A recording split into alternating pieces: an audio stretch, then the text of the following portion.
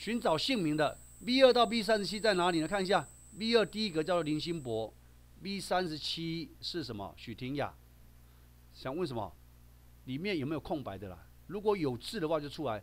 再一次要星号是表示什么？所有字源。问号表示一个字。OK 吗？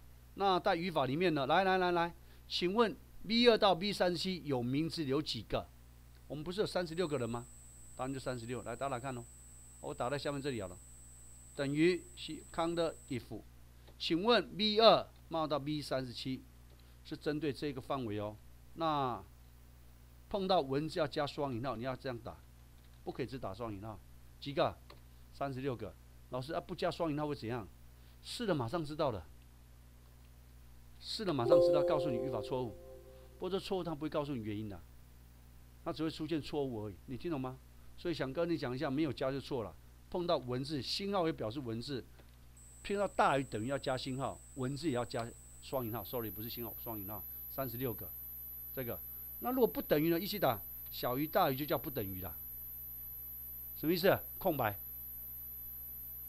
哎，我想打在隔壁这里，我应该打在这里，等于 C U U N T I F B 二冒到 B 三十七，对不对？不等于星号就是什么意思？就是其实一种找什么空白了？没有啊，我删掉一个，把张佑文删掉喽。所以这里面有名字几个？三十五个，空白的几个？一个。你看懂吗？有名字一个，我再删掉一个，有名字的三十四个，没有名字的空白的两个。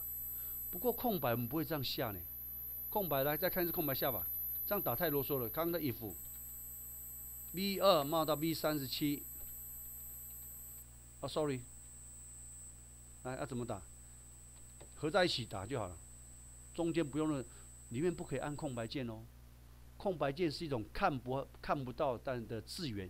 算有字哦，这两个双号一打就是空白的，就边卡啪一下啰嗦不等于星号，你就打这样就好了，中间没有任何东西。不过空白通常不是用这两个人，用谁？空白有它自己的函数啊，叫 count blank 啊，我们会用这个。那这个更简单，你只要给它什么 range V 二放到 V 三十七这样就好了。找空白我们会用这个，找空白我们会用这个。那你得看懂它哦，这也是一种空白，这也是一种空白。